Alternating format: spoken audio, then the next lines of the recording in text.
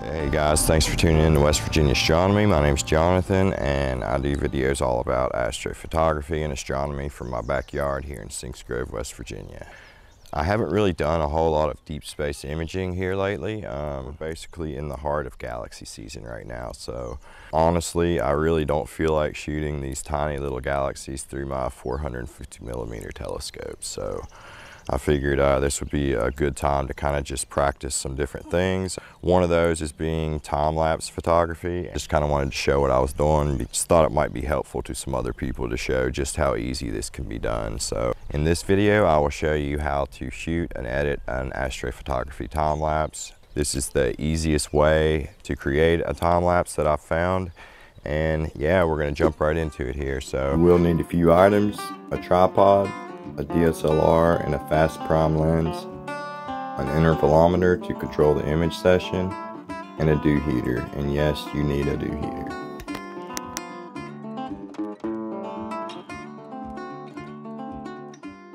The thing that I found that works the best with time lapses is when you have something moving in the scene, that be a string of cars across a busy city or you know, clouds rolling by, in my case, the night sky. So during the night, you'll see the stars trailing across the sky over a long period of time. Generally, you want to use a fast prime lens, and this is the Samyang 14 millimeter f2.8, and I'm using the Canon 80D, and the decent camera for a beginner. I use it all the time. Um, I figured it would be pretty fun to set this clock here and watch the time go by and watch the Milky Way rise above the clock. So we're gonna check where the Milky Way is gonna rise. So we can see right here, see when the core will be right above our clock here. See how we can uh, really check out what the picture's gonna look like here. It'll rise right behind the clock. Continue on all night long. And about 5 a.m. it gets daylight. So cool little app guys, that's called PhotoPills and it'll give you an augmented reality of the night sky and I use it all the time basically for every night image I do. Because We'll know what time it is because the clock will tell us. So fun little test guys, uh, I'm pretty excited. So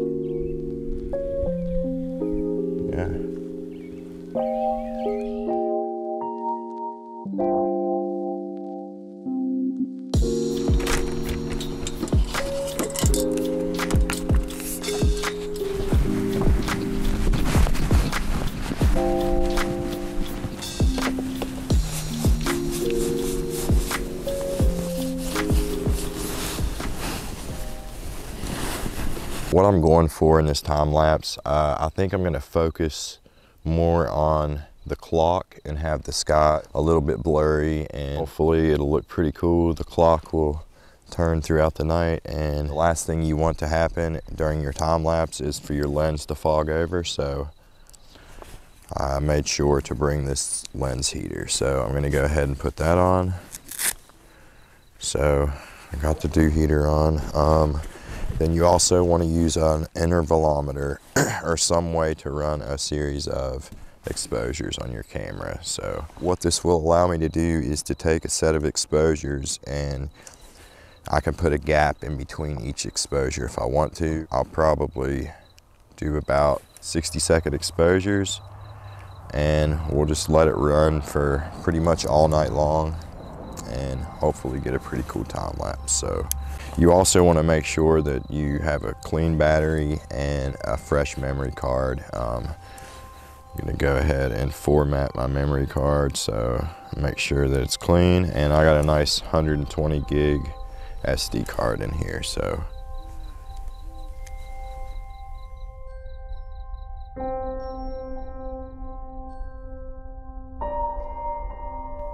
So after I got everything composed exactly how I wanted and focused on the clock,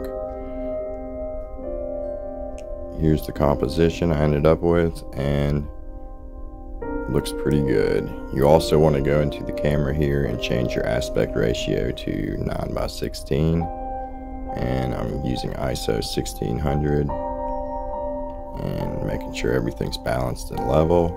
Um, The intervalometer, I set it to 60 seconds and there's a five second gap in between each exposure and hopefully we can get three or 400.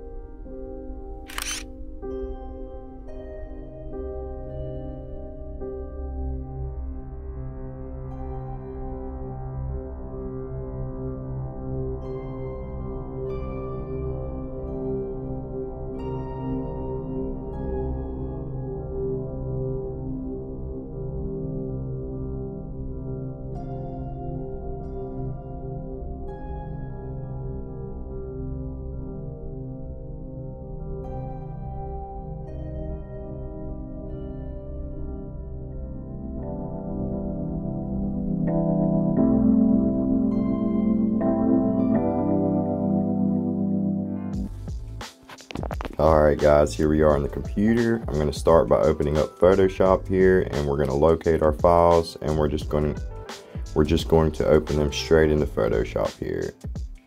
Because they're RAW files, Adobe Camera Raw will actually open them and we're able to make adjustments this way inside of Adobe Camera Raw.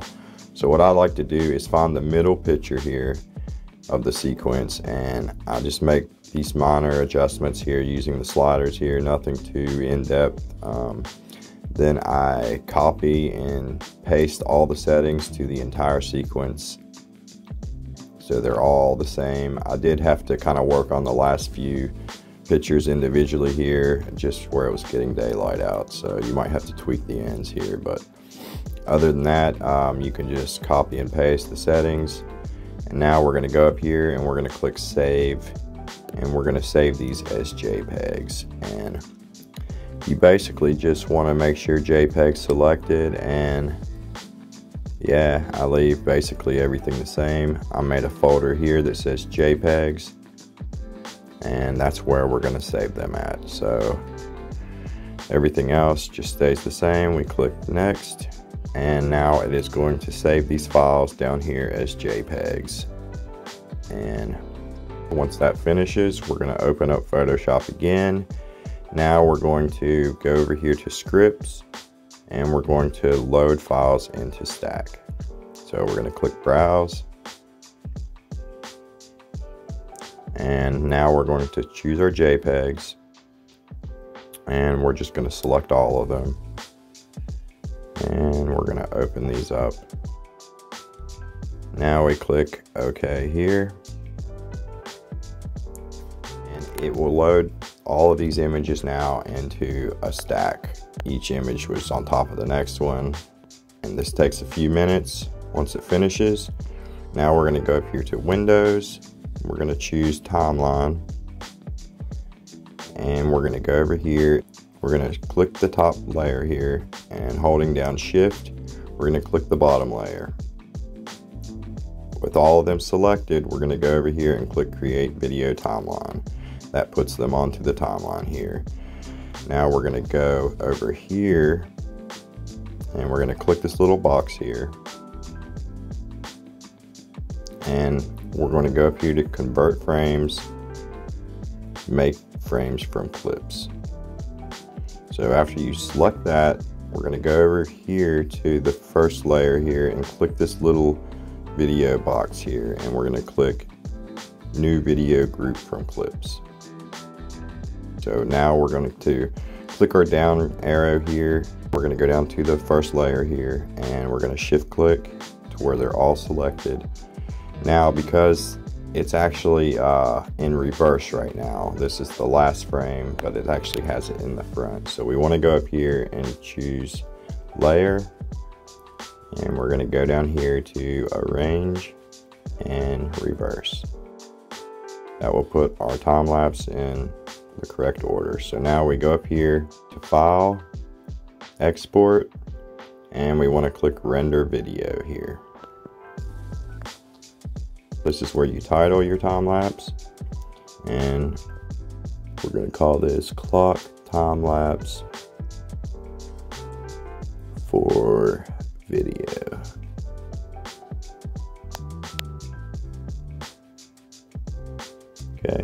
Want to make sure H.264 is selected here.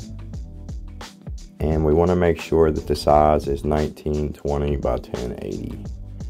So what we want to do, we want to make sure that HDTV 1080p is selected here. So click that. And now it's 1920 by 1080 and I did choose 24 frames a second, but on the original time lapse, I did 30 frames a second. I think it turned out a little better. So we're done. That's all there is to it. Um, once it finishes, you'll be able to open the file here and here's our finished time lapse. So we're gonna check it out here.